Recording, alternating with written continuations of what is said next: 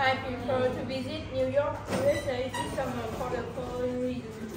Firstly, the flight is a lot cheaper than Sydney and is the nearest city with my with my uh, secondly, this is a spectacular city with impressive art museums like the Museum of Modern Art. Furthermore, it, in my free time, I can also go to some tourist attraction like Statue of Liberty and Empire Statue Building. Lastly, they have some food equipment in the school facility. On the other hand, summer summer day is very unpredictable. It's too many rain and so wet here. Uh, there is no swimming pool at the school there, but they have they are better for.